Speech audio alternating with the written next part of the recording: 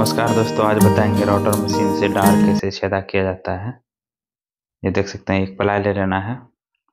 उन्नीस एम का मोटाई। इसका लंबाई जो होते हैं, तीस इंची। चौड़ाई लेना है, चौदह इंची। इस तरह से एक ठेहा में आप सेट कर लें इसको। इस तरह से चार कांटी लगा दें। देख सकते हैं।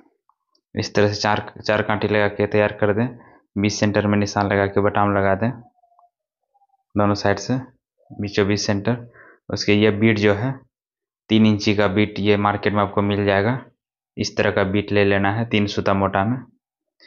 राउटर मशीन में इस तरह से डाल के इसको सही तरीके से कस देना है, पूरा फुल टाइट उसके बाद ये बटाम लेके जितना आपको बाहर निकालना है, यहाँ से आप नाप के निकाल के एडजस्टिंग कर लें। ये एडजस्टिंग दिया हुआ है, इस तरह से।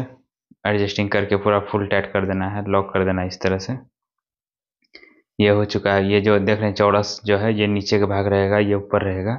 तो ये नीचे का भाग रहेगा जो जिसमें कटिंग देख रहे हैं इस तरह से प्लेट में बीस सेंटर लेके इस तरह से निशान लगा देना है।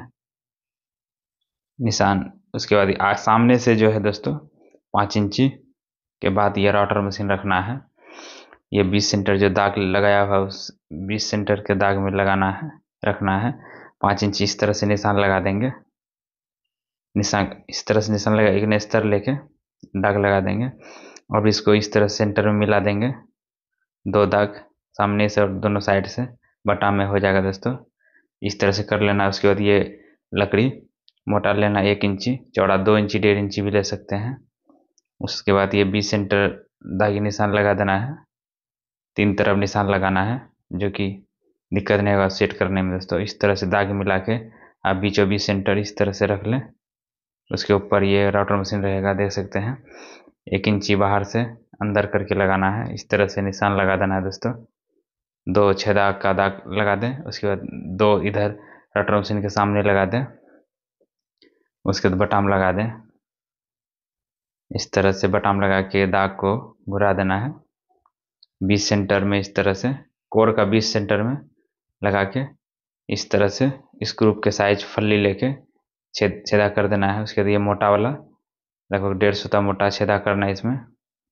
उसके बाद इस तरह से रख के डेढ़ इंची स्क्रू से दोनों साइड पहले कस देना है। उसके बाद इस तरह से रख के एक डेढ़ इंची का बीट ले लेना है। दस इंची लंबा, दोनों साइड भी इसमें भी छेदा करना है, देख सकते हैं। कांटी से ये राउटर मशीन का प्लेट का छेद निशान लगा दें इस तरह से। निशान लगा के इस, इस ये कांटी का निशान में प्लस का निशान लगा के उसके आप स्क्रू का साइज़ फली लेके छेदा कर दें इस तरह से। उसके बाद स्क्रू कसने का भी छेदा कर देना है दोनों साइड दोस्तों। चार छेदा होगा इसमें। ये देख सकते हैं ये छेदा हो चुका है चार छेदा। इस तरह से रख के डेढ़ इंच स्क्रूप लगाना है इसमें प्लेट में। पेचकस से फुल टाइट कर देना है दोस्तों देख सकते हैं। दोनों साइड आपको फुल टाइट करना है। इस तरह से फुल टाइट कर देना है।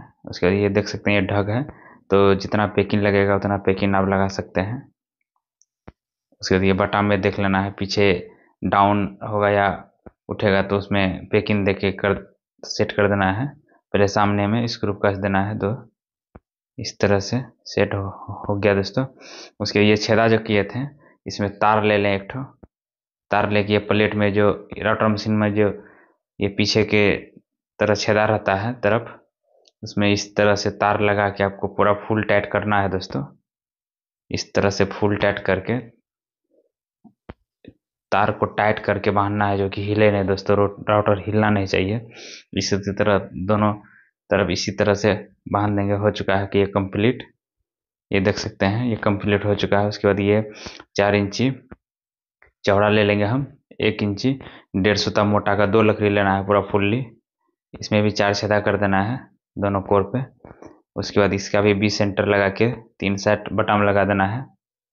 ये देख सकते हैं।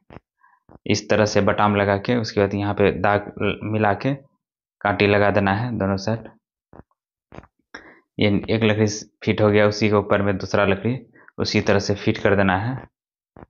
ये फिट हो चुका है। ये दोनों फिट करने के बाद ये ये पूरा कंप्लीट हो चुका है दोस्तों। ये देख सकते हैं, इस तरह से ये घुड़ेगा तो आपको। किस तरह से क्या करना आपको सारा डिटेल्स बताएँगे इसमें। ये लॉक सिस्टम है। उसके ये डार्ट जो है दोस्तों, इस तरह से रख के आपको इस तरह से चला, चलाते जाना है। लकड़ी को आपको खिसकाते जाना मशीन एक ही जगह रहेगा, जो कि बहुत आसान है दोस्तों। तुरंत आप छेदा कर सकते हैं, बहुत जल्दी ये आप छेदा करके। ये डार बहुत जल्दी छेदा कर सकते हैं, कोई दिक्कत नहीं है, बहुत आसान तरीका है। ये देख सकते हैं, इस तरह से पूरा फिनिशिंग आएगा छेदा में, जो कि आपको एक मिनट में आप चार छेदा कर सकते हैं। देख सकते हैं, इस तरह से आप जुगाड़ बना के आप बहुत आसानी से छेदा कर सकते हैं, कोई दिक्कत नहीं है दोस्तों इसमें। ये इस तरह, आप इसको ऐसे रख के आपको खिसकाना है और कुछ नहीं करना दोस्तों, दरस के, दरस अंदर की तरफ़ रख